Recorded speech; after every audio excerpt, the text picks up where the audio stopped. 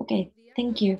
Good morning to everyone here present for participating in this hearing today. This is hearing number five of the 181 period of sessions. Once again, a virtual period of sessions. Unfortunately, the pandemic does not allow us to meet in person. I want to welcome all of you. We are going to talk about the situation of um, human rights and environmental defenders in Brazil. This has been requested by a series of organizations of the Brazilian society. I'm not going to name them all. I want to welcome you to this hearing and also to the state and uh, the representatives of the Brazilian state that are here present in this hearing. Also, in this hearing, we will count with Chandra, representative of the regional office uh, for the uh, on human rights in uh, South America. I am joined by uh, Urrejola, Commissioner Urrejola, and the country rapporteur, uh, Commissioner Joel Hernandez, Commissioner Esmeralda Arosemena, and Commissioner Estuardo Ralón the ad hoc executive secretary, Maria Pulido, is also present, and all the team that um, monitors the topics um, that will be dealt in this um, hearing, the team in charge of the country rapporteurship, and also uh, human rights defenders, um, Commissioner Estuardo Ralón, and all the team that makes this uh, hearing possible, the technical team, the interpreters, and um, I want to greet you all. And I see that the special rapporteur on economic, social, cultural, environmental rights, uh, Soledad Garcia Munoz, is also present. Thank you for being here today. I would like to request that when you talk, you when you're not talking, please keep your um, microphones muted. You can see that we have interpretation in the lower part of your screen. You will see the icon of the globe. You can select that icon to choose the language that you want to hear in case you need it. The hearing will be organized in the following way. First of all, the civil society will have 20 minutes, so you can present the different topics then the representatives of the state, we have 20 minutes. Then the UN expert, we have seven minutes to make a presentation. Afterwards, the commission will have a space to ask questions and make comments. And the civil society will have 10 minutes and the state 10 more minutes. I want to I want you to check that in your screen you have a clock says Blue Sky Timer. I want to request civil society organizations and the state, uh, if you can see the, the clock, you can see it, the timer. Okay, so this timer will work in countdown mode. It will become red when three minutes are left. So please respect the time so we can uh, uh, Uh, continue with this hearing. First of all, I will give the floor to the civil society organizations for 20 minutes.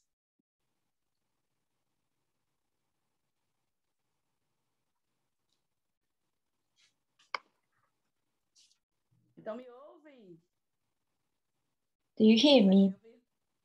Do you hear me? Okay, thank you.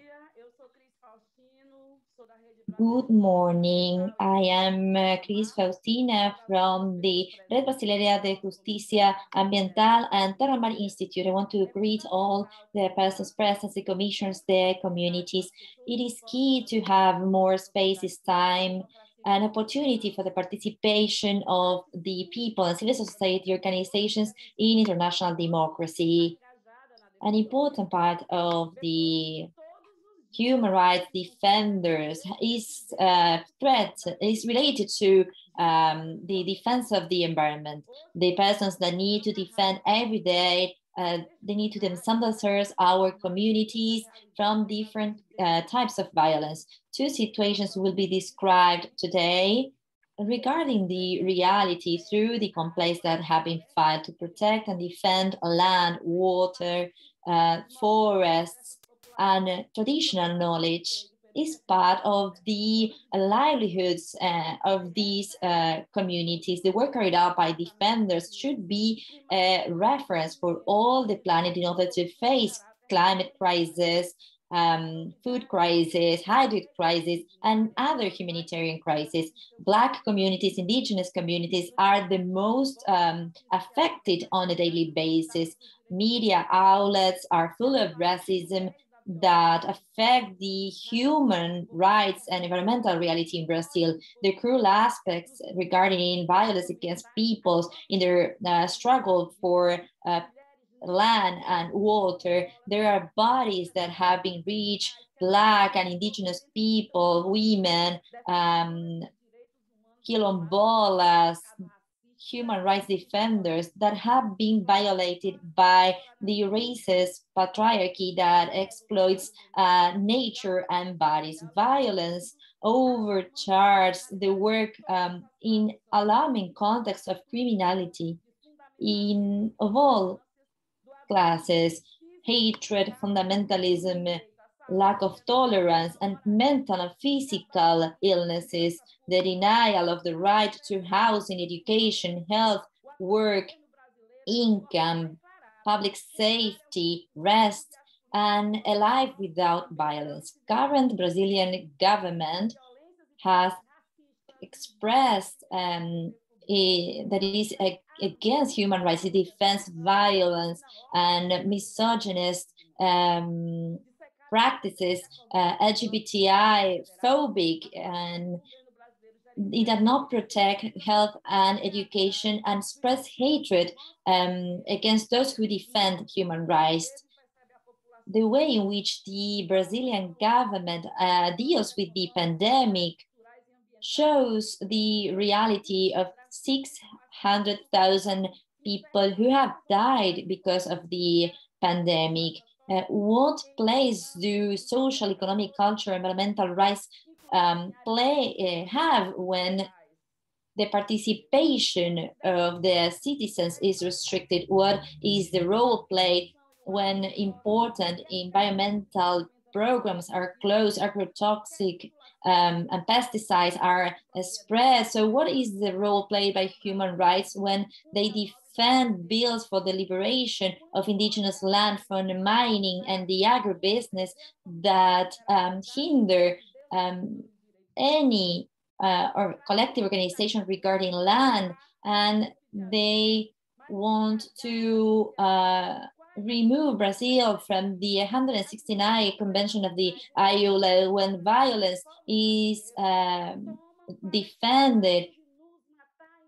This is not about uh, asking for help, but requesting society about asking society about what are the uh, measures needed in order to respect the sovereignty of the Brazilian peoples, in order to stop these uh, healing in an immediate way, we need to guarantee the application of the 169 Convention of the IOL. Thank you. I am from uh, Global Justice in Brazil.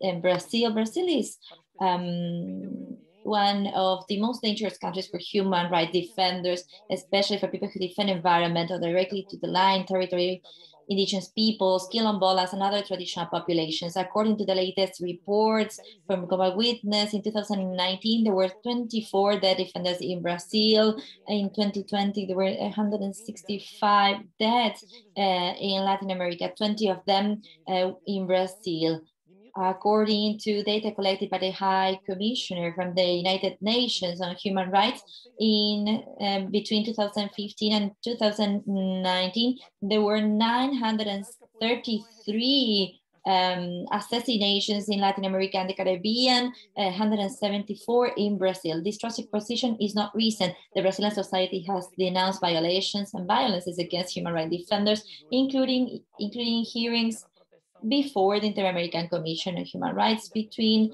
2016 and 2018, a historical mission, the protection of people and environmental defender, defenders um, shows a, a, persecution and criminalization on the part of the current Brazilian government, which has withdrawn uh, social environmental guarantees enshrined in the Federal Constitution of 1988 by means of the militarization of public institutions for the defense of the environment and traditional communities, uh, alteration, extinction of environmental roles and participatory councils, the omission of inspections and a lack of uh, combat of illegalities and crimes, and explicit racist uh, character in state speeches and practices. Criminalization is directed to people but also to groups and collectives that defend the right to the territory and the environment. The speeches of President Jair Bolsonaro against indigenous peoples, quilombolas, black and social movements such as Movimento Sem Terra, um, are examples of that. The lack of legitimization generates negative deep impacts or a hostile intimidating environment for people and collective defenders. The National Programs for the Protection of Human Rights Defenders was created in 2004 but implemented in 2005. And since then, the Brazilian Committee of Human Rights Defenders has made recommendation for its improvement, which the government has uh, ignored in 2016. Uh, in 2018, the program was called Program for the Protection of Human Rights Defenders, Social Communicators, and Environmental Defenders, expanding the initial scope. But since then, no concrete measure or modification was changed in the methodology. In uh, Bahia, Ceará, Maranhão, Minas Gerais, Pará, Pernambuco, and Rio de Janeiro have programs while Mato Grosso, Amazonas, Rio Grande do Sul, and Paraíba are in the implementation phase the program continues to continue with many difficulties, among them the lack of articulation of public policies that face structural uh, issues associated with conflicts, insufficient investigation, lack of effective accountability in cases of attacks, criminalizations, and assassinations involving human rights defenders. The institutional fragility due to the lack of legal framework for the due to administrative issues and discontinuity of their programs in the different states, inconsistency in the risk assessment of methodologies and low effectiveness of protection actions due to the lack of dialogue and there is a lack of effective strategies for groups and collectives that bear in mind their specificities.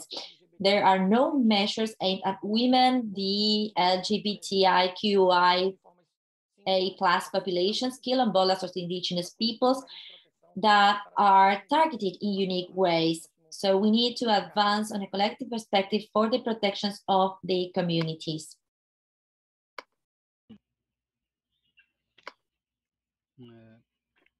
Muito bom dia, prezados senhores senhoras. Good morning.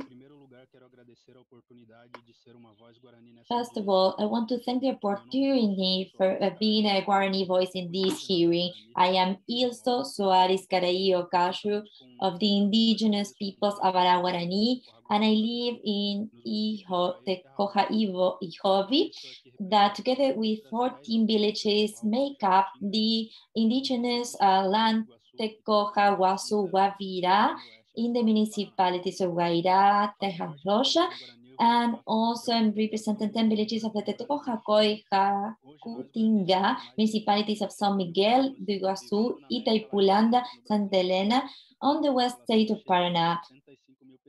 Today, we are more than 280,000 people living in Latin America.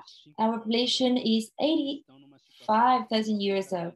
I am speaking on behalf of 5,000 Ava Guarani that in a vulnerable situation, we do not have land to plant our food or seeds to collect our traditional medicines, and we don't have uh, materials to build our houses. Violence against our people are not investigated by um, the judiciary. I have suffered six shooting attacks since 2020 and numerous attacks against um, against myself and also attacks against uh, several villages in the region. No one has been punished or accused or responsible of these attacks. Why is there a lack of interest to investigate these cases of violence? Why does the lives of the Avará Guarani uh, not worth it, according to the Brazilian authorities. Our authorities constantly attacked by agribusiness companies and um, they are using many strategies to prevent demarcation, such as the formation of militias and private security,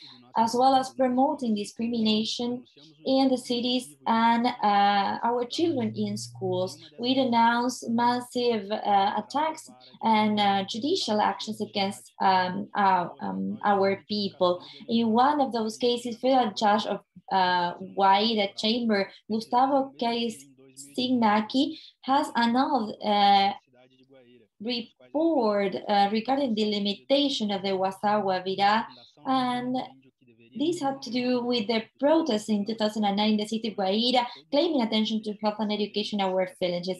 The National Foundation of the Indigenous Peoples has um, annulled any delimitation through the Decree 418 of 2020. For more than 10 years, we have been waiting for the demarcation of our territory. FUNAI had to the, uh, carry out that demarcation of the Tekoha Wasuokoi Hakutinga, but after four years, it has not complied with this uh, decision. In November 6, Don Isildo Agüero was shot on his back on broad daylight and was left paraplegic. The uh, complaint couldn't be filed as the police officer in charge did not allow us to do so. In uh, November 2018, 20-year-old Emilson Novoa was assassinated and no one has been punished. Nairton Vaz, Alberto Ortiz, Felix Benitez, Benicio Benitez were attacked by five people who attacked them with uh, knives Virginio died, and the civil police took 70 days to start the investigation and collect the victims' um, testimonies. Assassins were left, uh, were freed soon. Uh, Cridio Medina in Teja municipality was illegally imprisoned and taken to a delegation to give a testimony. He was in prison for three days. The accusation was protecting an alleged crime committed by children of the village who had been collecting um, corn that had not been harvested um, near our village. In 2021, our people suffered an epidemic of suicides among adolescents and young people. Nine suicides among people uh, 13, 25 years old. And also there were attempts um, of an, an 11 year old uh, child. There are violations in the 1970s during the military uh, dictatorship. We, uh, we were never compensated. Also, Raquel Dodge had uh, withdraw has also withdrawn a legal uh, decision um, without respecting Convention one, uh, 169 of the ILO. We disagree with this. The PROCE gathers reports from the National Commission of Truth of the Sixth Chamber, and these uh, accounts were collected by the Commission of Indigenous Rights of the UN, which is already present in the precautionary measure issued by the Commission. This continues to impact us as he ha has killed fauna and flora and has erased our history and our present in the region. Guarani also suffered from the anti-indigenous political pressure promoted by the federal government. In 2019, the demarcation of our land, uh, our own president said that the indigenous people were not going to be given any land and they were side of the uh, farmers. Um, the National Congress has proposed uh, has highlighted um, bills 490 and 191. That's why we want to denounce our suffering in this hearing.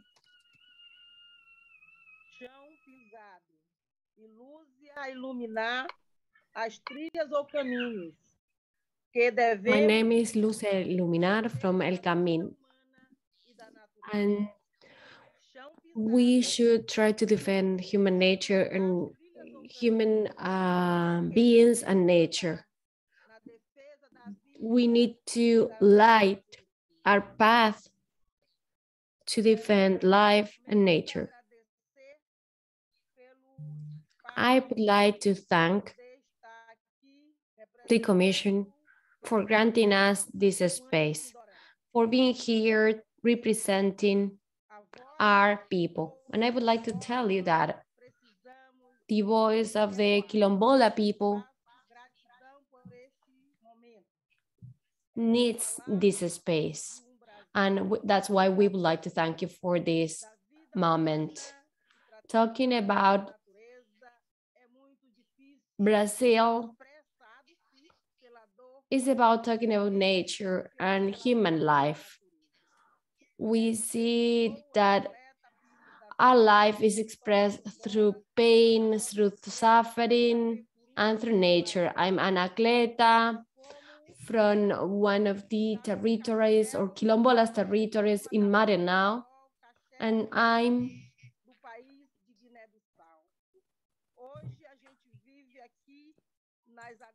I'm also, we live here in agony. We've been living in agony for over 500 years. All the evil has been um, spread in our territory where we are living and indigenous peoples have been displaced we are facing a complex scenario. We are being killed and they kill everything. They are killing the air, the forest, the water, and they are killing us as well. We are victims. We've been victims for a very long time. And the pain that I'm expressing right now has is the pain for those who have been killed every day. So from our territory, I would like to say that we were going to have a proceeding to deal with the spreading of big farms. We see that there is a culture that is dominated by hatred, and we are suffering this for many centuries, and we are suffering still uh, this is now still. Today, we are undergoing a very difficult situation together with my colleagues. We are fighting for our li life because we are human rights defenders and we also are nature defenders. Our lives, we are being persecuted. We are criminalized once again. And in this space, what I would like to do is to say that when a leader is being criminalized and is killed, after that, men and the community are being killed and they are also going to kill our land and therefore we are not going to be we are going to be nothing so as human rights defenders and defenders of our land what we need right now is to make our voices heard and we need to work together I think that the voice of the Quilombola is very important. And I would like to say that we are in here as a community. We are here waiting actions that promote life, the life of nature. What we want to do is to defend what defines us and what define our lives. The criminalization is affecting us. Our lives are being dismantled every day, throughout the day. So that's what we want to request each of you to please save us.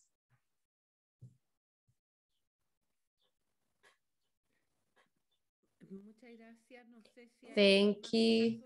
I don't know if anybody else would like to talk because you are on time. I don't know if everybody has taken the floor. Thank you. Now I would like to give the floor to the representatives of the state. Thank you. Good morning and good afternoon, everybody. I would like to thank especially the commissioners here in the hearing and also the regional representatives of the High Commissioner of Human Rights.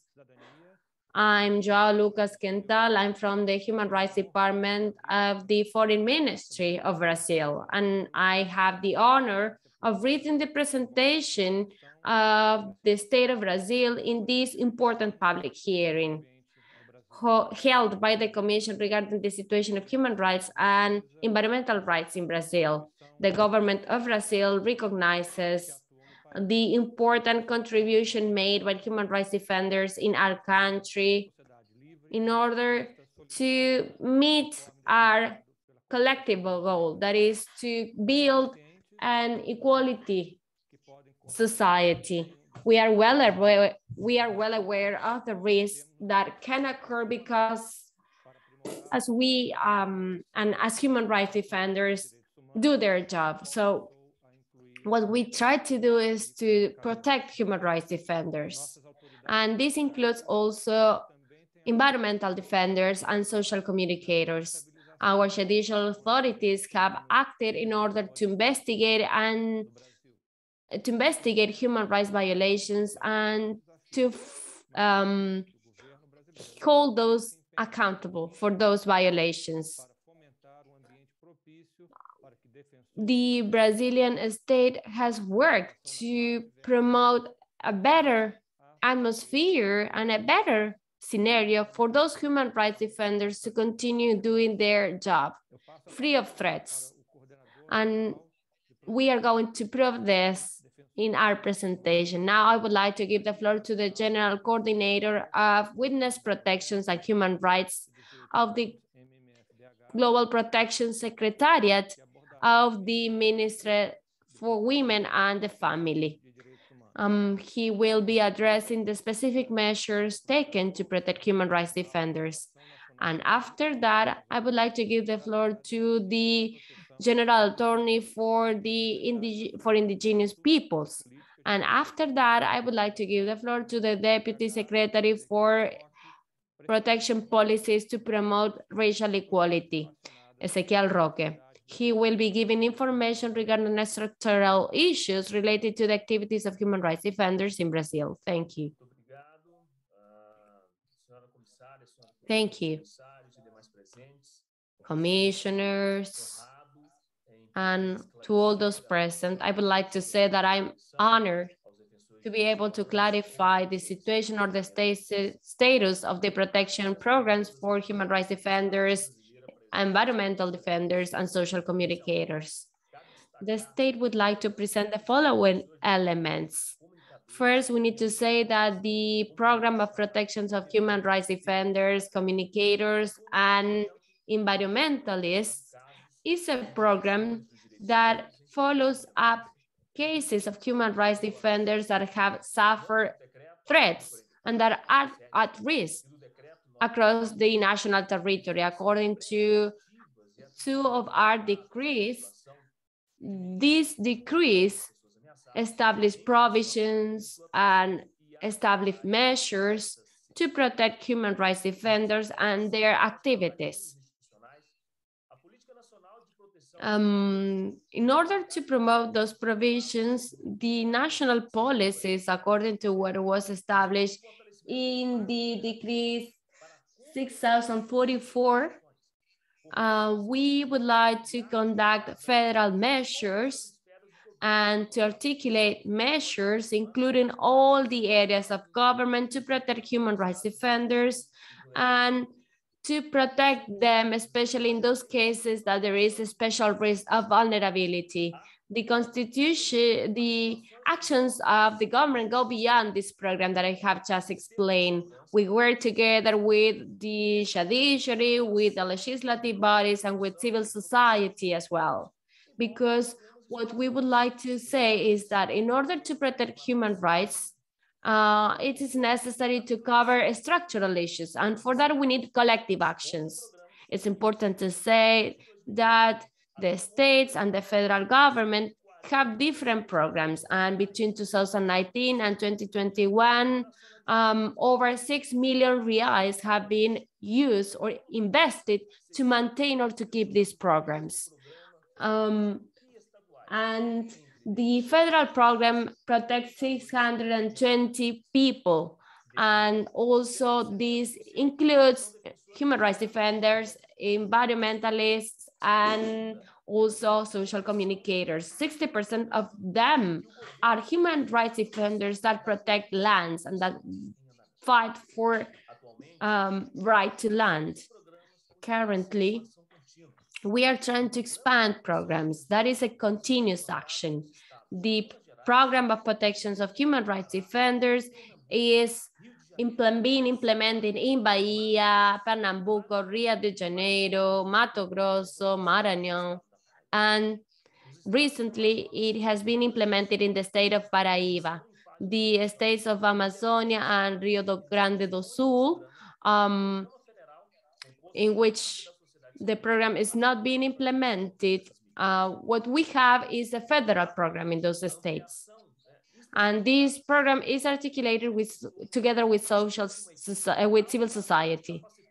We'd like to say that human rights defenders uh, have the support a team and we have a specific uh, group of people in order to guarantee those protection measures in the state of Maranhão until March, they have invested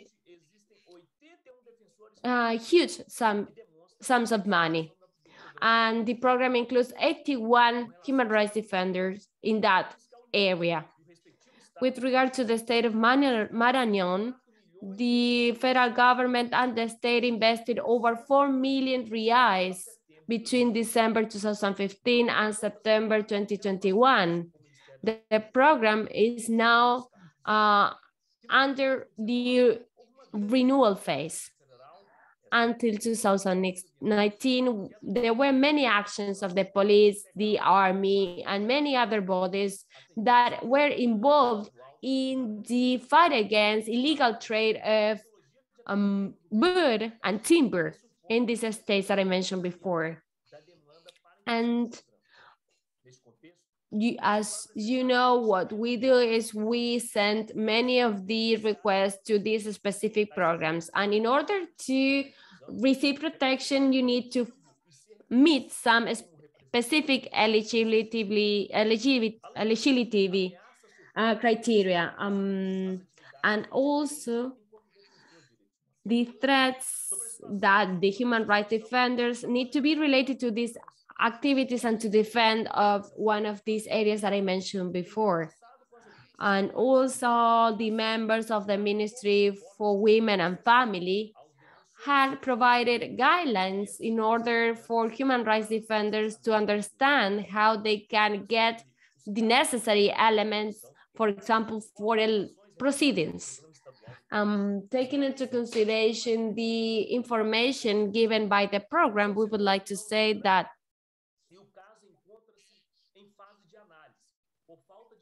that this case is under analysis because of the lack of information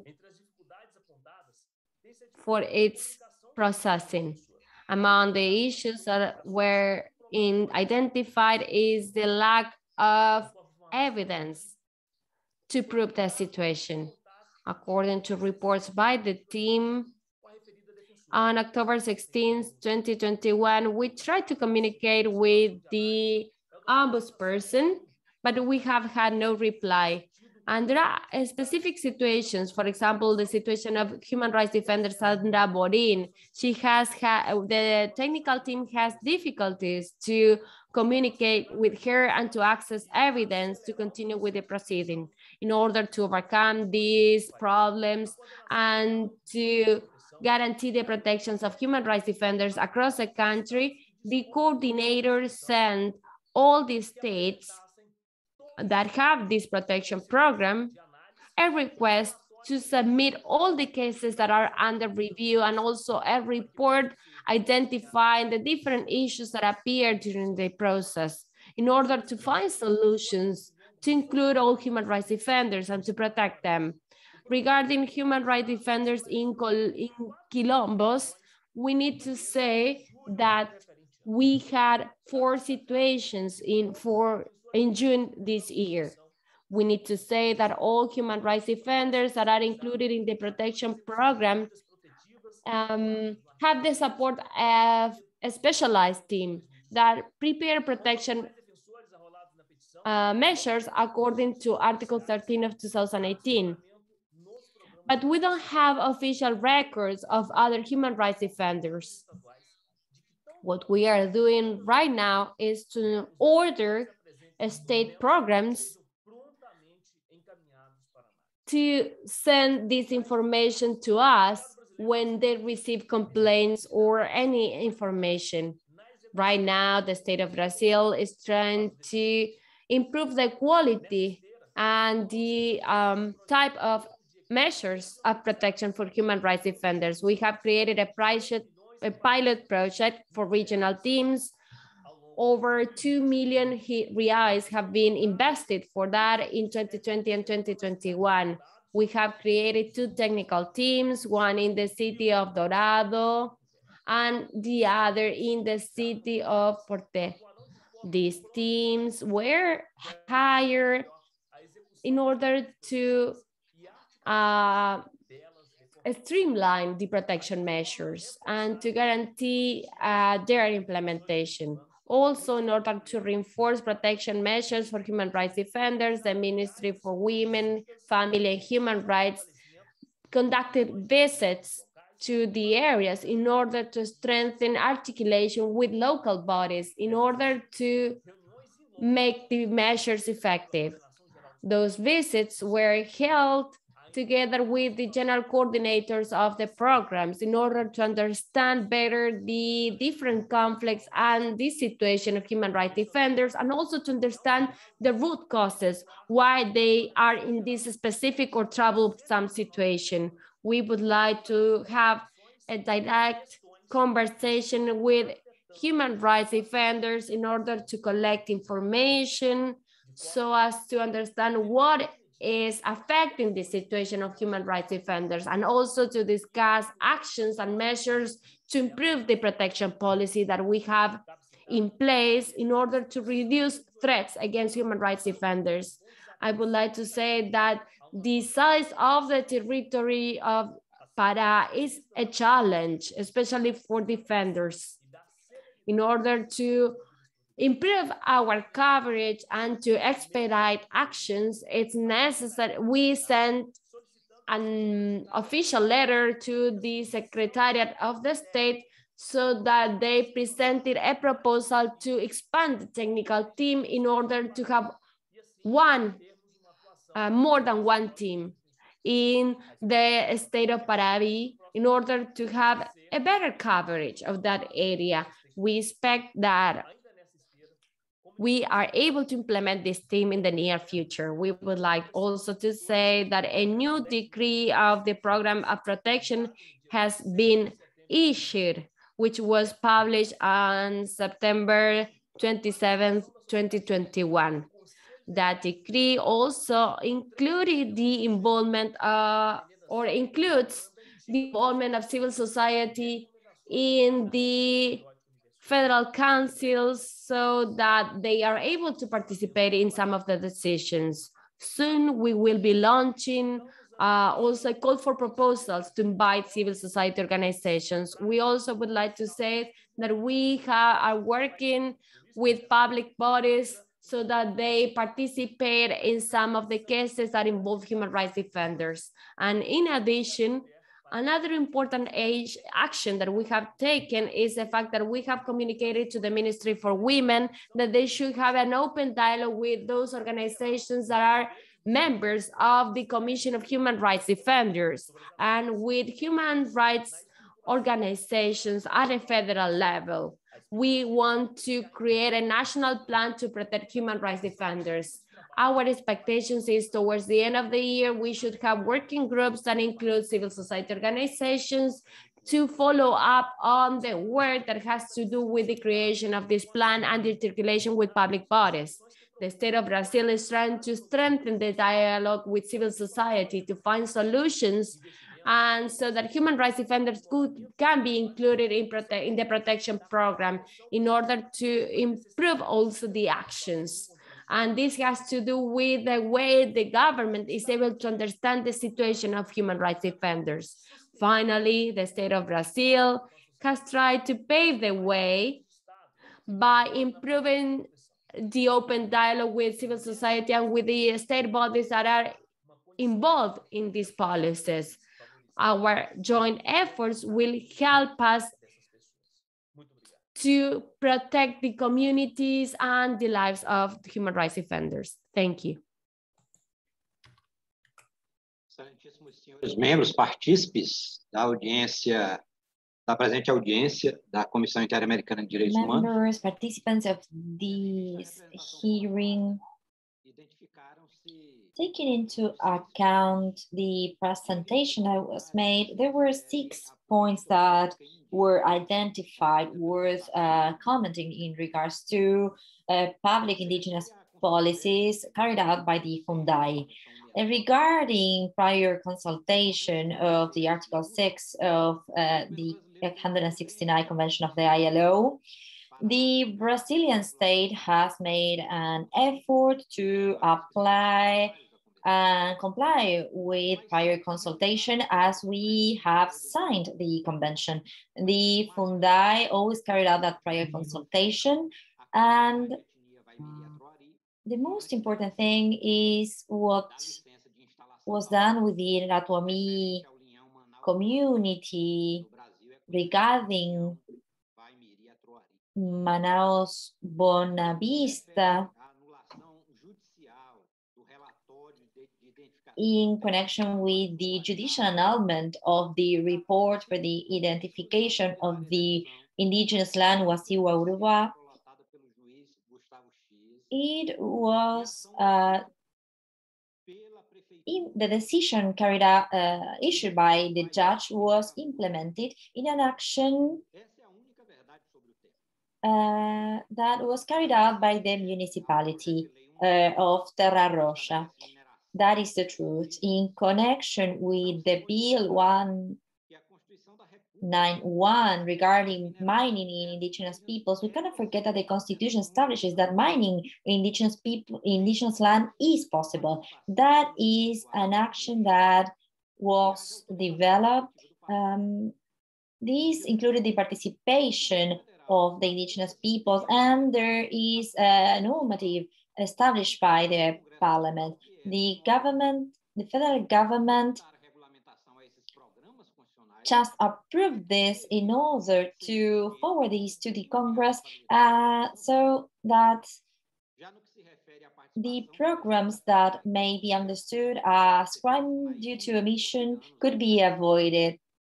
Regarding the participation of technical experts, it shows that the expert chose by the president has expertise and knowledge on the subject regarding this uh, subject that is related to indigenous policy. That is not uh, new.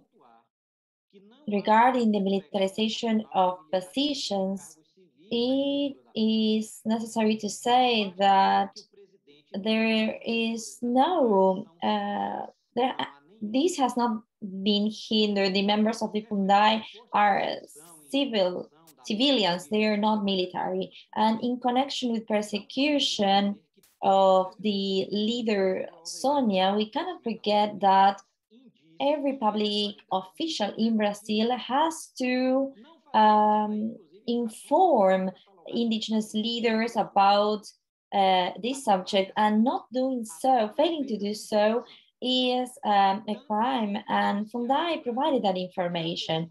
In fact, the judiciary in Brazil has decided on the lack of existence of a um, complaint by the president of the Funai. So the presentation made before the commission regarding indigenous issues shows a lack of uh, agreement among communities regarding indigenous policies, but the constitution allows the executive uh, to choose their priorities and the, and the way in which public policies will be carried out. That is the concept of the government.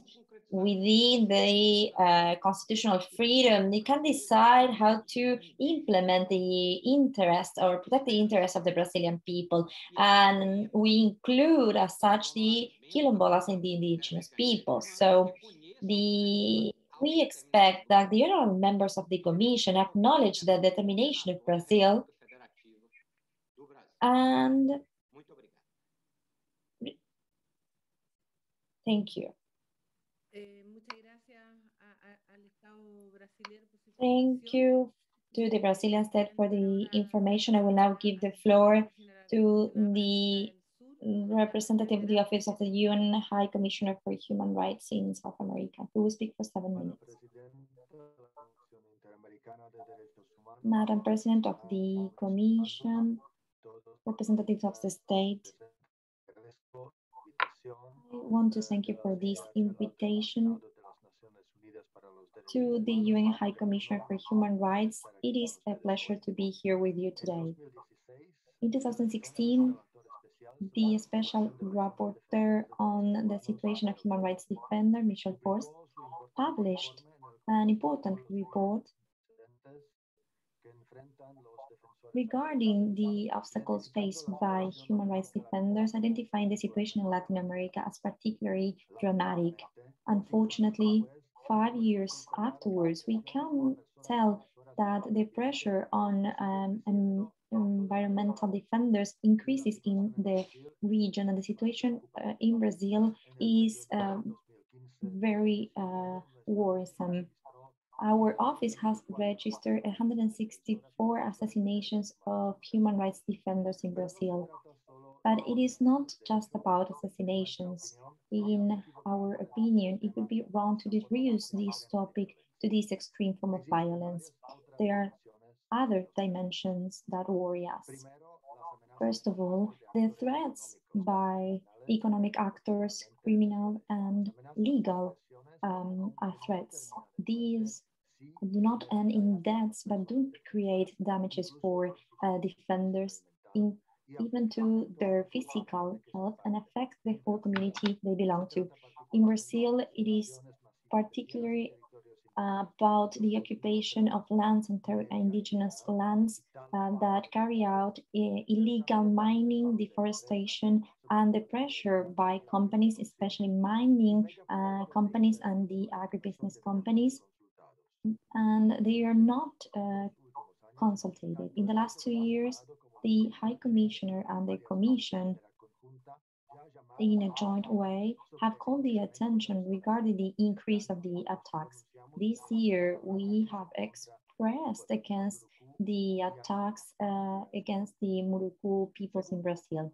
Secondly, policies of the state that favor the expansion of economic activities in indigenous territories there is an open support of the government to initiatives that uh, are being discussed in the Congress in order to favor these trends.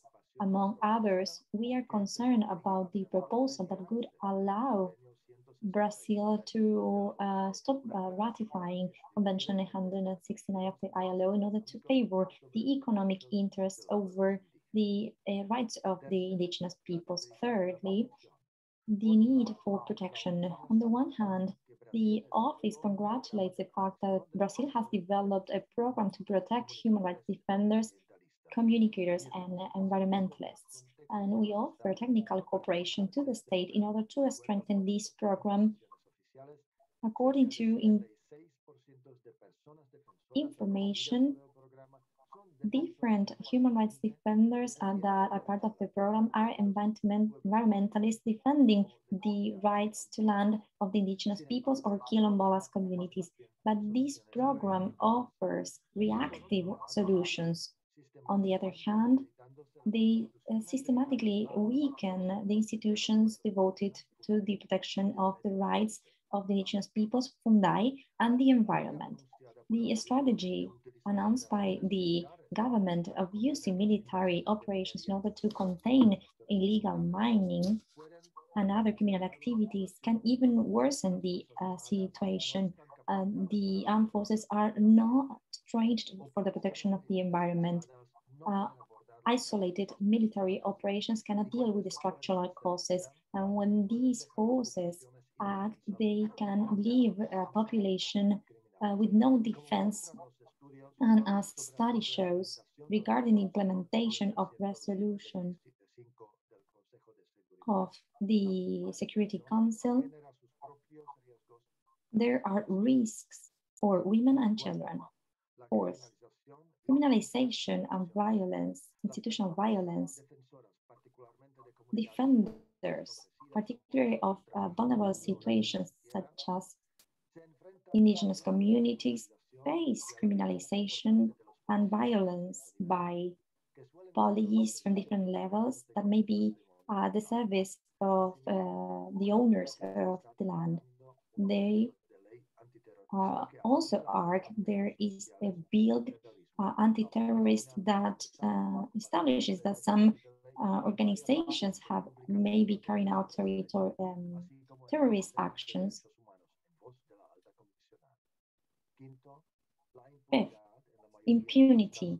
In most cases, aggressions and attacks. In some cases, it, it is possible to uh, carry out convictions of the uh, perpetrators, but not those who ordered the attacks. This sends a terrible message to the society that killing one uh, person that is a defender is uh, less serious than exercising that defense. This is combined, for example, what occurred in the state of Pará in 2016 when 11 peasants died as a result of police actions. There is impunity. Several police officers have been investigated but have not been convicted. They have been threatened because peasants are still being uh, threatened. Fernando dos Santos was uh, murdered in February 2021 and criminalization in January also to the families of Jose Vargas Jr. who were accused. Also, there is a gender dimension.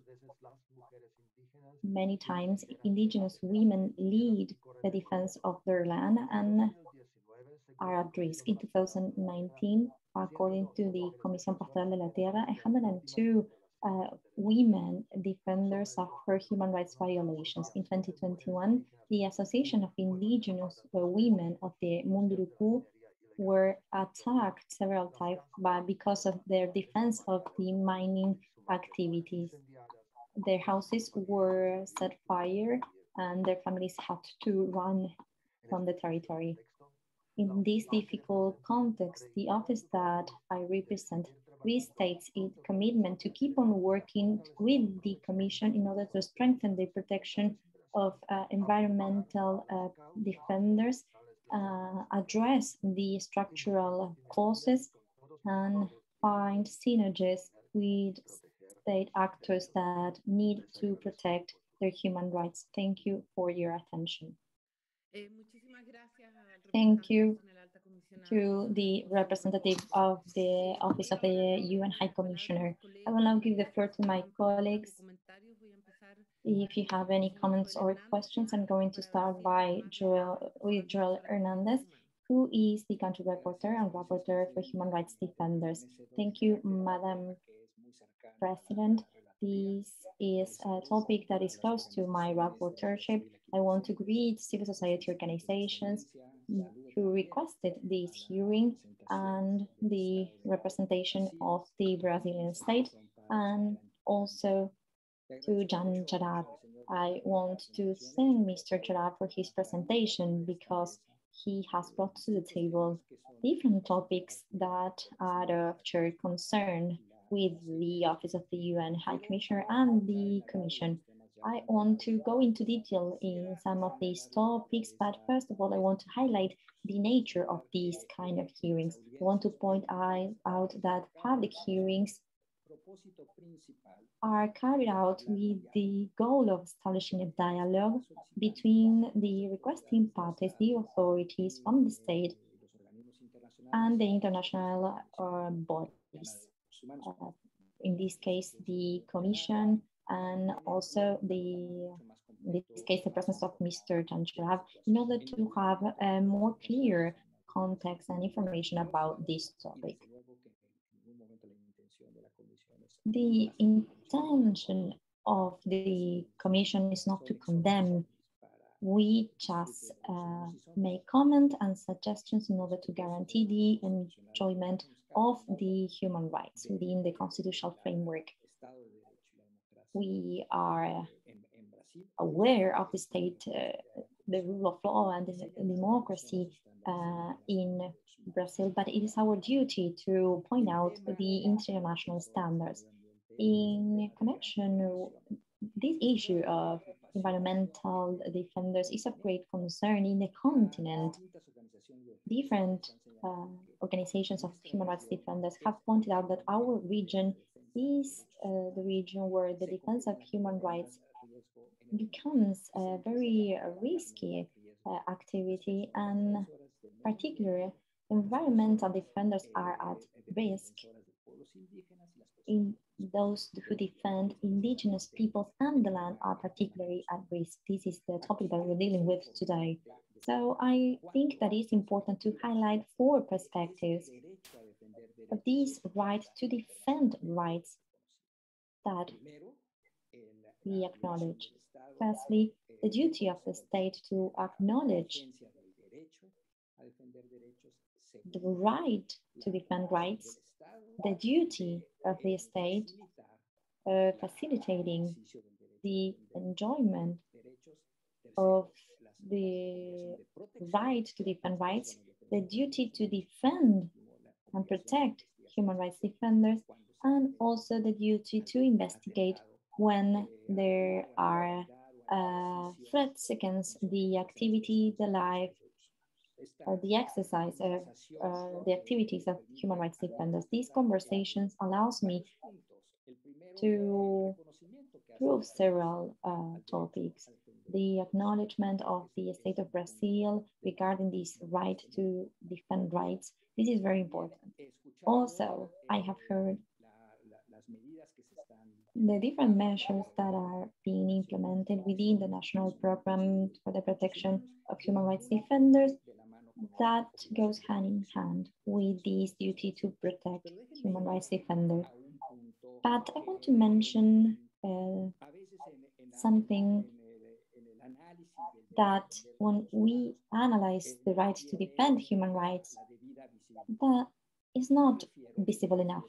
And I mean the duties, the duty to prevent the state has in order to prevent threats to the lives and integrity of human rights defenders. These prevention duties are related closely to different underlying uh, reasons. Jan Jarab has mentioned how we have observed the existence of these threats, these risks that human rights defenders face because they are facing threats to their territories and to the development of their own communities through illegal mining, illegal deforestation.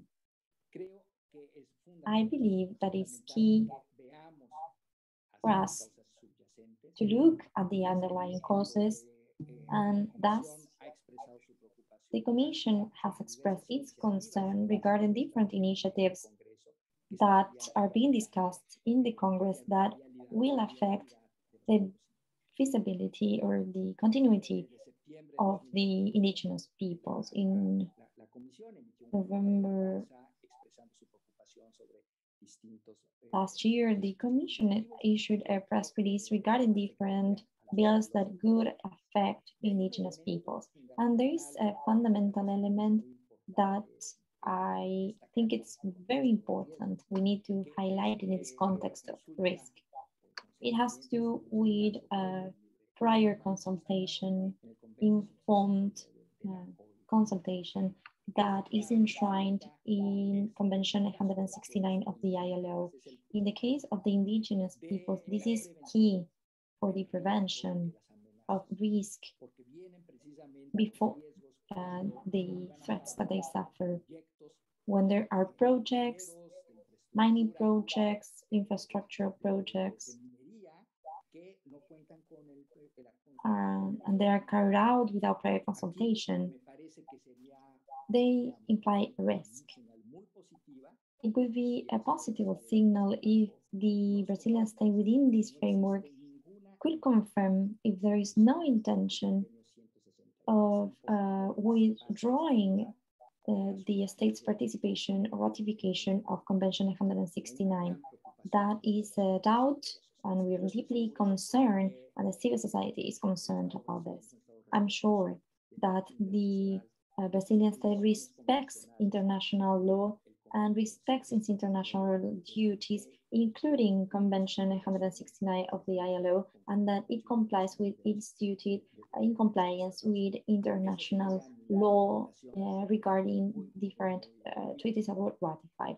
That is my observation. I want to conclude, Madam President, by uh, inviting the space to share the measures that have been implemented in order to carry out the investigation uh, in connection with the threats or violations of human rights to human rights defenders. Thank you. Thank you, Commissioner Hernandez. I would like to ask Commissioner Hernandez, uh, Commissioner Arosemena or Commissioner Ralón if they would like to take the floor. Commissioner Arosemena, you have the floor. Thank you, Madam President. I would like to greet the representatives of the state, but I want to also express my solidarity with the civil society organizations that requested this hearing. I would like to highlight uh, this solidarity after hearing Anacleta and Christian because they are demanding an answer. And I would like to welcome what uh, the representative of the High Commissioner Office and Commissioner Hernandez have made that has to do with the concept of prevention. We have listened to the state, um, the measures that it's taking in terms of the articulation of different public institutions for the implementation of the program of protections of human rights defenders, social communicators, and environmental defenders. But um, the complaint of civil society makes me think about this concept, the importance that the response cannot be reactive. These, the responses and the actions should be aimed at prevention. And therefore, it's necessary to consolidate institutions that address or that have that vision. I also would like to um, express the position of the Inter-American Commission. I think that it's important to promote um, the collection of information and we think that civil society should be able to participate. And you're saying that but what civil society organizations are organizations are saying is that they are not being participating. So we have these two different positions and stances. And on the side of the state this uh, we believe that the state should be open. And the commission also supports this um, this position. Uh, the commission can support that dialogue. It's important to understand the big challenges. And it's important that the state of Brazil is recognizing or acknowledging those challenges. But it's important to be able to face those challenges. And that's what civil society is demanding. Um, I know what that we don't have enough time. I would like to listen to Rapporteur Ralón, but I also would like to listen to the Special Rapporteur for Economic, Social, Cultural, and Environmental Rights, because I think I think that her opinion is very important in this matter. Thank you. Commissioner Ralón, you have the floor. Thank you, Madam President. Good morning, colleagues. I also would like to especially greet the representatives of civil society organizations and the representatives of the state. And also I would like to greet the representative of the High Commissioner Office. I would like to um, ask two questions to make the most of the time that we have. And it, because it would be good to listen to or to hear other comments from both parties. The first question is for the state and is related to what Commissioner was saying regarding prevention. The state said that at the beginning of the year, they uh, were planning to expand the technical teams to prevent human rights defenders or to protect human rights defenders. I would like to know uh, what that expansion of protection team implies. It would be great to learn more about this in this in the hearing. And my other question uh, is related to the intervention of Mr. Jan Jarab. He was mentioning his concern regarding the anti-terrorism law because Instead of creating a space for the protection of human rights defenders, there might be some ambiguous terms that could affect human rights defenders. I would like to know if there is any reaction or any comment of the state with regard to that bill. Thank you. Thank you, Commissioner Ralón. Commissioner Rapporteur Soledad Garcia Munoz, would you like to add anything? Good morning, Madam President. Good morning. Thank you for the information. I will speak in Spanish. I would like to greet the Commission and my colleagues of the Executive Secretariat, the representatives of civil society and of the state, and also Mr. Jan Jarab for our rapporteurship. Economic, social, cultural, and environmental rights are fundamental. And I would like to highlight that the United Nations has recognized the right to a healthy environment. That is a right that has already been recognized by the Inter-American system in the Protocol of San Salvador, to which Brazil is a party. Environmental defenders are necessary for the implementation of this right. They should be valued by states. The Commission has expressed its concern on several occasions, especially on Brazil country report because of the weakening of institutions and the weakening of environmental policies in Brazil. Um, also, the rapporteurship is following up with concern five bills in Congress that will change the rules of game in land management that could have an impact the environment. 490, 2007, 191 from 2020, and 3,729 from 2004.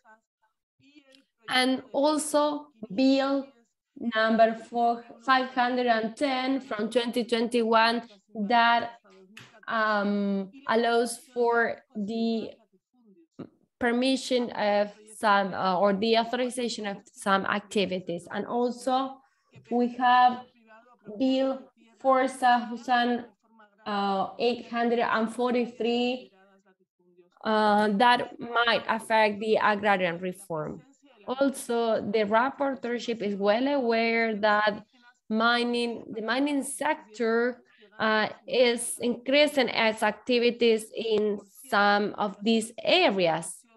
And we see that there has been an increase of over 1% in the exploitation of the territories of indigenous peoples.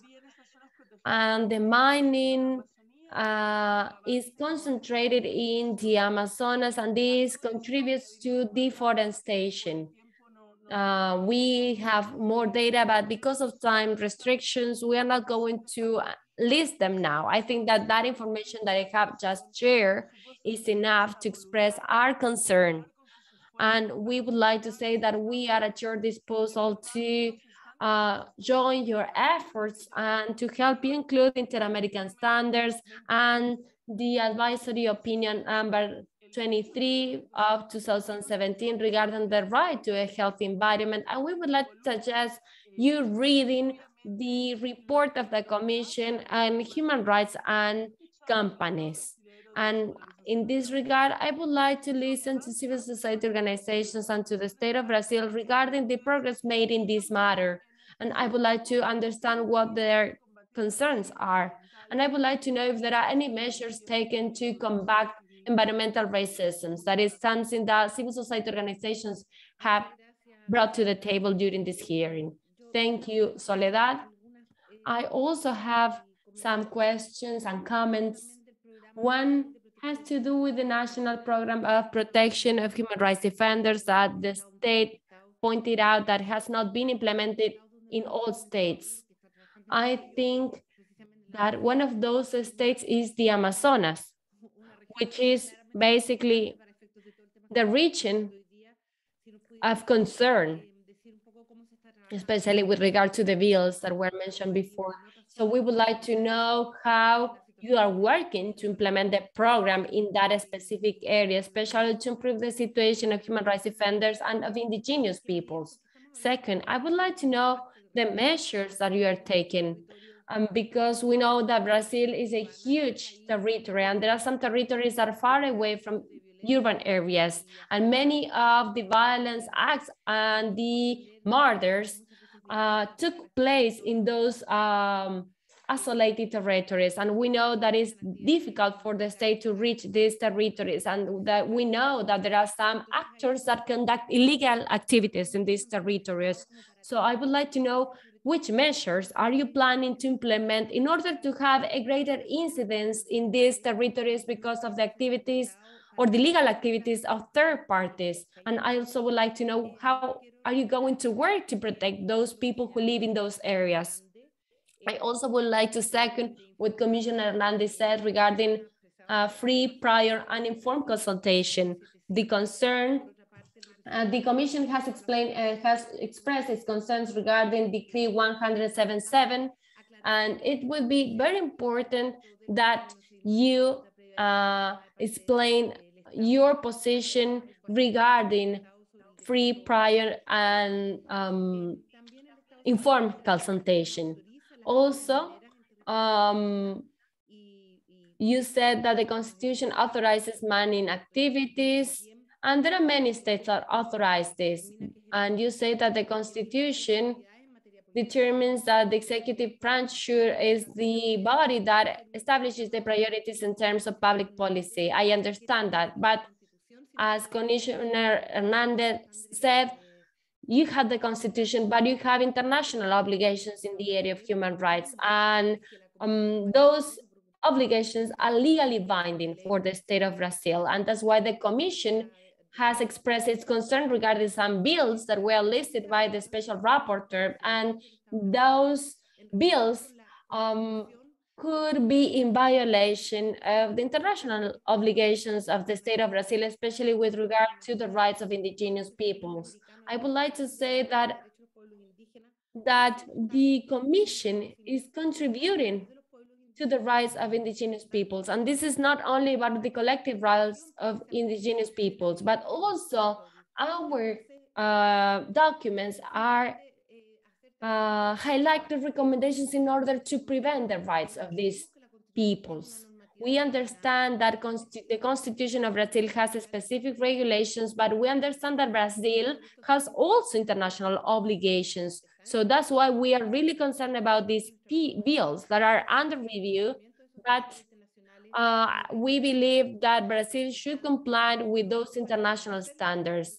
And those standards are not there only to recognize the rights of indigenous peoples, but also they are prevention, prevention measures. that has to do with the presence of third parties that conduct illegal activities in the indigenous territories. That's why it's important to acknowledge these rights in order to avoid the presence of third parties that threat the lives of the communities in those areas. I would like to reiterate this, but I would like also to know specific uh, attention to this. First, we are going to give uh, 10 minutes uh, for civil society, and then we are going to give 10 minutes for the representatives of the state. Thank you.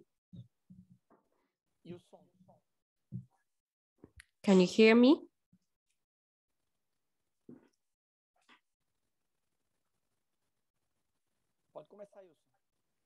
Uh, I'm going to speak first or can you hear me? I would like to uh, start my presentation by saying first that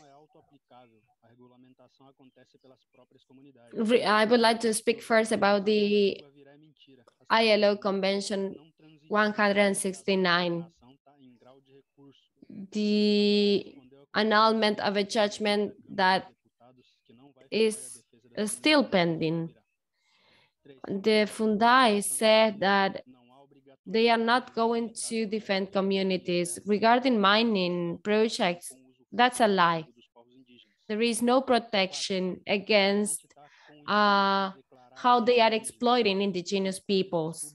For the president has expressed its interests or their interest to exploit indigenous peoples. They are applying policies that go against constitutional principles and against domestic legislation. Um, the government said that they have done a prior consultation, but that's a lie because they are rejecting our conversations on electric energy. Seven, we know that there is institutional persecution against uh, some indigenous community leaders, and this shows how protections bodies are not working. And what affects indigenous peoples the most is the policy of killing indigenous peoples of this government. The government is not developing any inclusive policy that takes into consideration indigenous communities. The state is omitting its obligation to the indigenous peoples to demarcate and to protect indigenous lands. This government is mm-hmm. an enemy of indigenous peoples. During their political campaign, they said that they were not going to demarcate indigenous lands, and the hate speech is making or is scaling up the conflict. And therefore, indigenous peoples are being threatened by huge agribusiness actors. And as we have said before, every day we suffer attacks. Mm, all what we see is that there is a systematic attack against our rights because we are going are going to be deprived of the right to have our own lands because there is no demarcation of our lands. Indigenous peoples have been massacred we have been expelled from our lands. And today we're giving our lives and our blood to stay in these lands. And we don't have the flora and the fauna that we used to have. We have all soy cultures and they are invading our lands. Also, we have all these initiatives that interrupt nature. They are acting in alliance. But everything develops, but is no progress for indigenous peoples. We cannot see any positive results here since the beginning of the current administration. Or since the current administration took office. Thank you. I would like to make two comments, two or three comments regarding what the state said, regarding what the problem is, and everything that they say regarding the attacks against human rights defenders.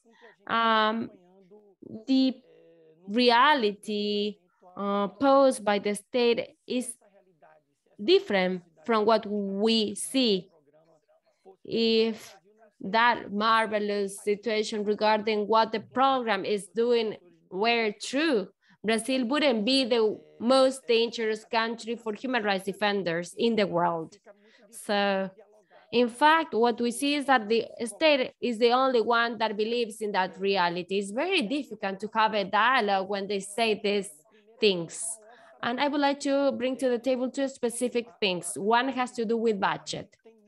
The representative of the uh, state said that the program includes a budget that was allocated from the very beginning, but he's not saying that the Ministry for Women, Family, and Human Rights is being investigated by the Public Prosecutor Office because they are not executing the budget. The Ministry for Women only executes 44% of its budget, and therefore they are being investigated they do have the budget, but they do not implement the policies of the protection program. And what we see is that the program is not being implemented in all the states. The other thing that I want to say about the program has to do what the representative of the state said regarding dialogue. It is a lie. The state is not promoting any actions to promote dialogue with civil society because there is no participation of the civil society. The recent decree only includes three civil society organizations. Only those organizations are allowed to participate in the program. But we have six government agencies that are part of that committee. So there is no parity. You have six bodies from the government, you have three uh, civil society organizations were a minority in that committee, that the Liberation Committee. So, and the state said nothing about the fact that the fight was uh, order to prepare a national plan for human rights defenders. This was an order by the public prosecutor office of the Rio of the state of Rio Grande do Sul. It was not uh, something that was done in good faith. So now I would like to give the floor to one of my colleagues. Thank you.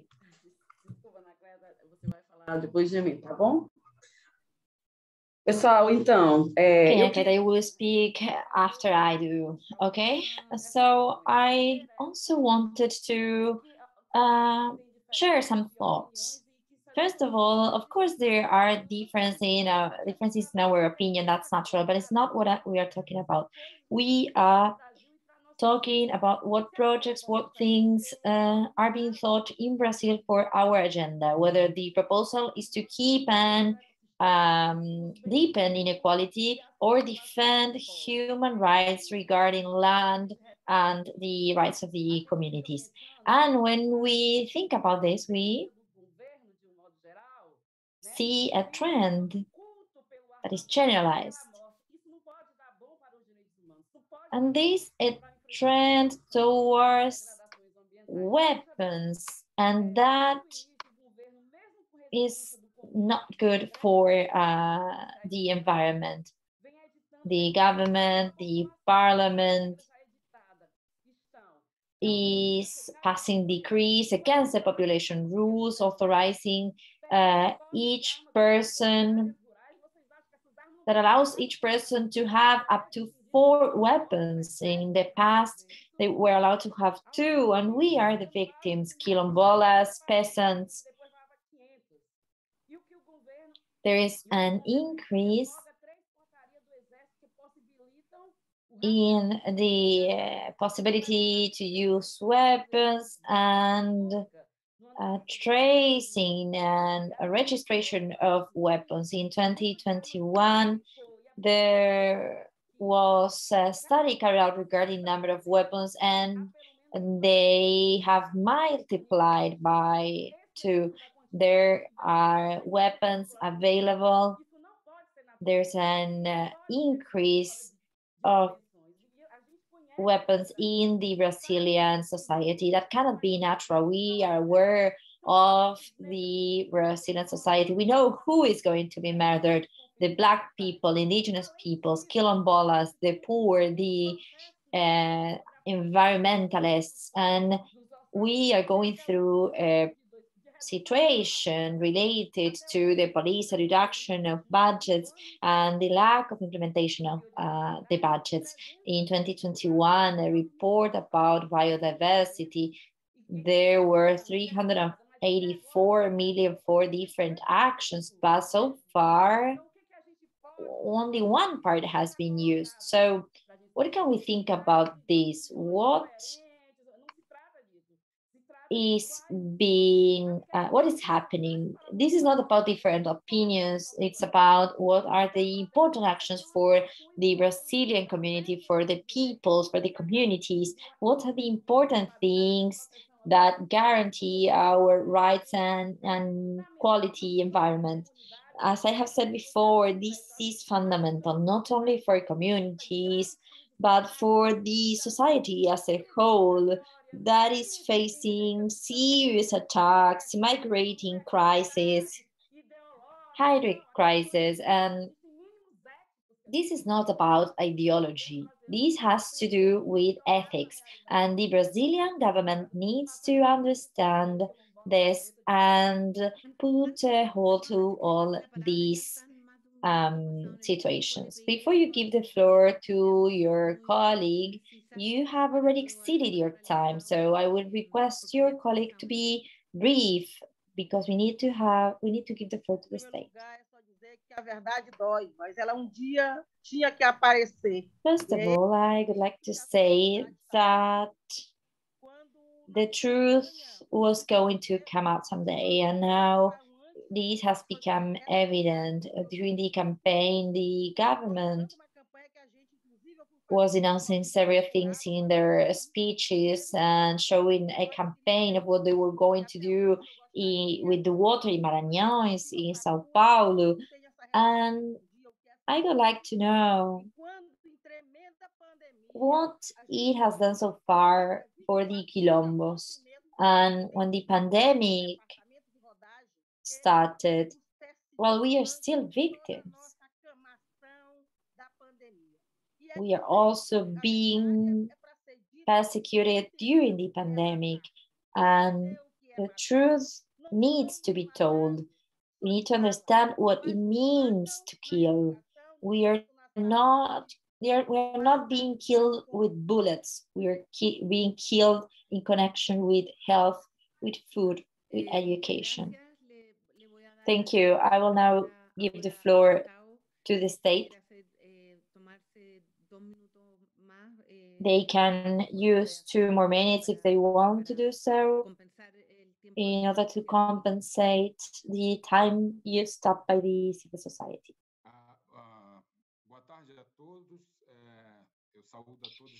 Good afternoon. I want to greet everyone, the indigenous people, Umaru, Shawine. I want to welcome everyone present. First of all, I want to explain the situation when we talk about environmental racism. In, during the last two years, there were different um, demarcations uh, that were carried out in the quilombos and indigenous uh, communities. More than 2,000 quilombolas were um, benefited from this. And these uh, encompass more than a thousand hectares of land. Also, we have all we have given land ownership to different Quilombola families in Alcântara municipality in Maranhão.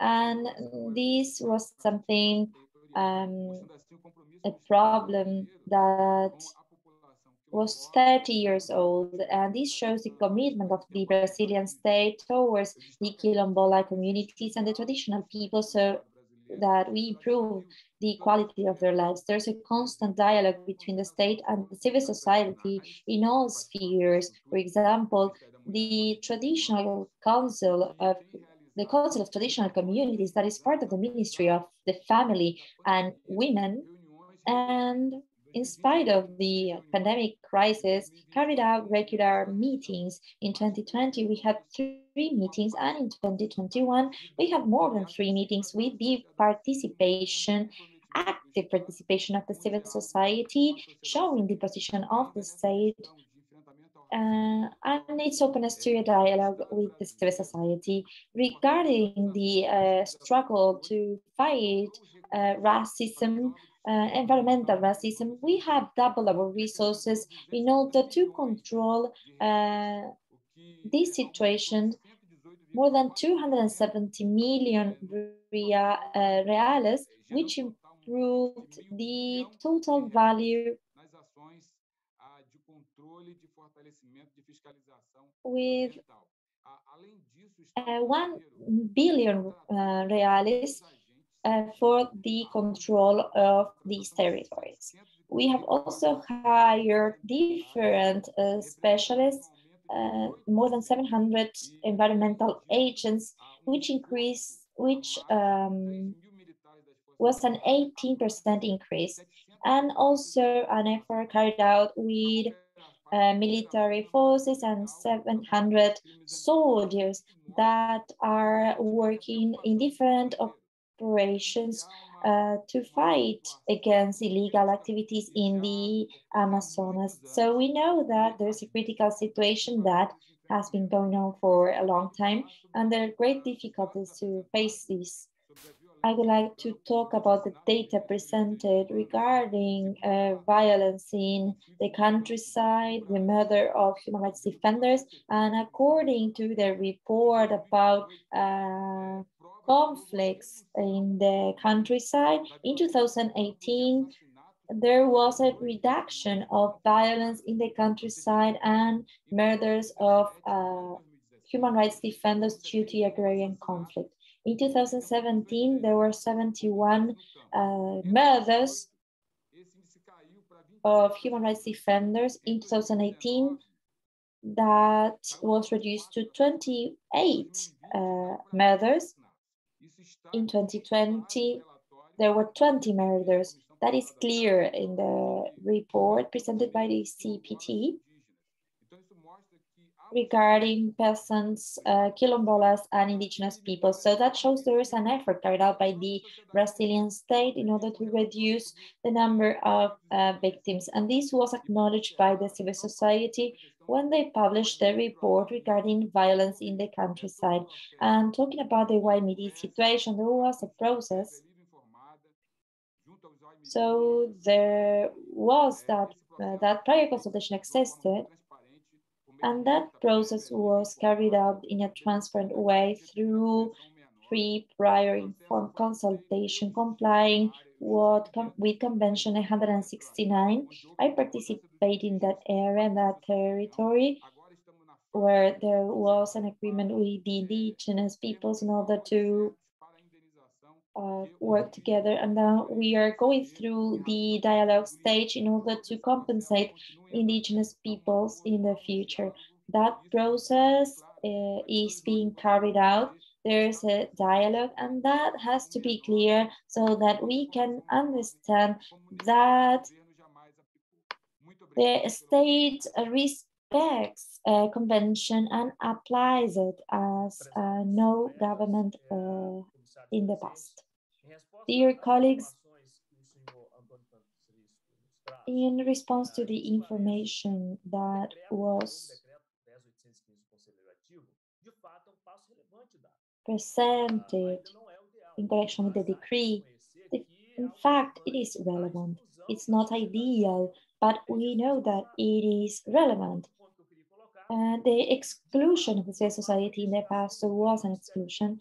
And in fact, there is no uh, investigation carried out by the Office of the Public Prosecutor regarding the budget. There was an investigation regarding the execution of the program, and we have been honest about that in all our responses regarding the program to protect human defenders.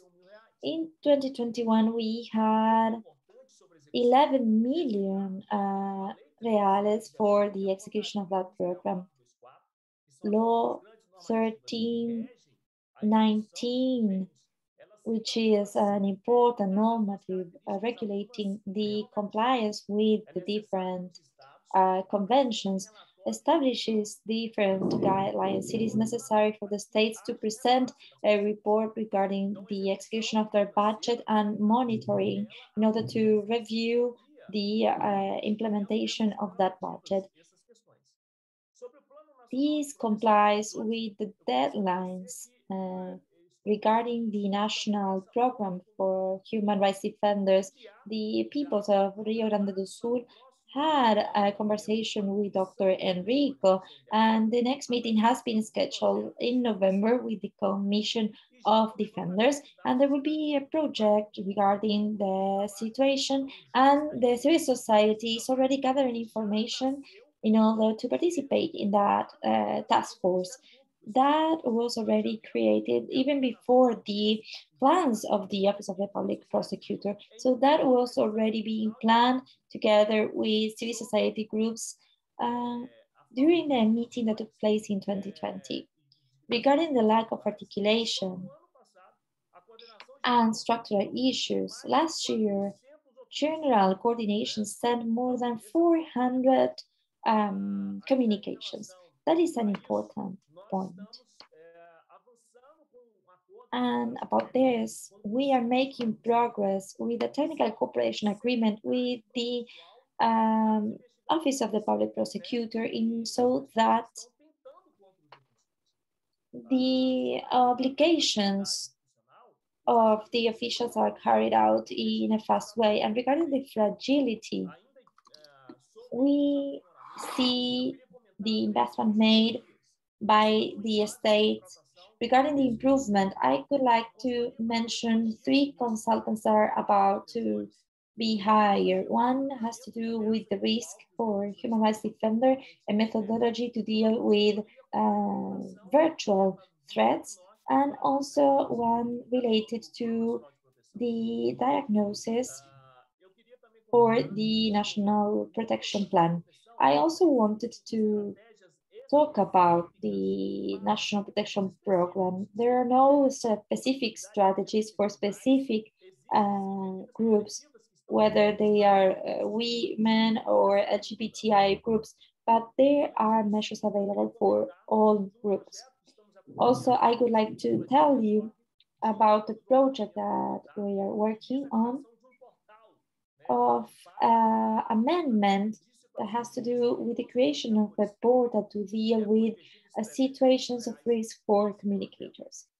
Uh, we have invested 320,000 reales and also this year in Marañones, uh, there's going to be a national meeting with all technical groups with the participation of defenders in order to improve, uh, achieve improvements regarding the improvement of the state of Amazonas. In order to conclude, all states that are not part of the program are uh, dealt with by the federal program with the team that we have with the civil society to deal with all demands. So all protection measures are available. Also, I wanted to highlight that this information has to do with the commitment of this administration with the program. And the previous governments did not have this commitment. Thank you. On behalf of the Brazilian state, I wanted to thank all your comments and questions, and the questions made by the petitioners, by the commissioners, and we took the notes of all the comments made, and we will send uh, written replies in connection with several of the topics that were brought up in the meeting, uh, in connection with human rights and envi environmental defenders. I wanted to quickly mention two things. Firstly, the Convention 169 that was mentioned by many of you, the state is committed to comply with this convention. And as the secretary has mentioned, we have implemented, we implement this convention on the ground. And I also wanted to mention regarding the different bills that have been discussed in the Congress that were mentioned in this meeting, we want to say that the executive respects the independence of the different powers and the independence of the legislative power. Some of the approaches have been discussed for more than a decade, and it is very common for uh, bills once agreed uh, go through substantial modifications uh, through alongside the legislative process. So any conclusions about these bills uh, is should uh, be taken into account as these bills will be continue to be discussed and everyone can be participate in these discussions. Thank you. Thank you to the representative of the state and civil society organizations on behalf of the Inter-American Commission. I want to thank the organizations and the state for this hearing and the information that you have presented. And also we want to thank the presence of the representative of the UN High Commissioner, Jan in this hearing. There is a topic um, about which I would like to receive further information by written, taking into account what Karayi Gaju has denounced regarding uh, some uh, human rights defenders who committed suicide. If you could send that information by written, uh, that is a great concern to us, so please send that to us. And to conclude, the Commission has published its country report in February this year, in which we make a series of recommendations. There are five recommendations related to human rights defenders, uh, which includes the need to strengthen the National Protection Plan for human rights defenders uh, in terms of the structure and the economic and logistical uh, elements and resources. And the Commission will follow up the recommendations in 2022, uh, paying special attention to the measures of effective protection to protect human rights defender with a differentiated approach, which we believe uh, to be very important in the case of the defense of human rights defenders. And also we will closely follow up the stigmatization uh, issue that has been brought up in this hearing regarding human rights defenders. And we understand that legislative debates are part of uh, the plurality of democracies. We believe that's very important, but as a commission, we pay special attention to the legislative debate uh, when it comes to bills that have an impact on human rights. So we will keep on following up that debate. And we would like to point out the uh, disposal of the uh, Commission to for any technical cooperation to uh, with the state, not only the executive, but also the legislative, which we believe to be very important for the Commission to provide support to the states in the legislative debates to comply with international standards when debating bills that have an impact on human rights. So we want to restate uh, that we are at your disposal in terms of training as well to the different uh, state actors. Thank you so much to everyone for your presence today and we will stay in touch. Thank you so much. Goodbye.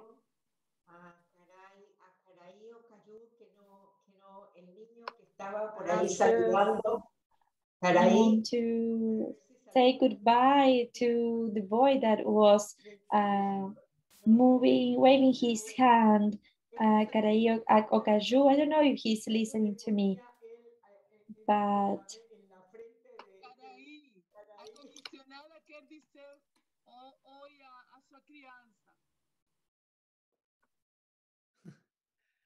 Seu filho, seu filho, a comissionada quer, quer, quer dizer olá, seu filho. Pois é, ele acabou de sair. Foi brincar de novo. Se acaba de, de ir. He just moved away. Well, we send him our regards. He was very active during the hearing. He was present.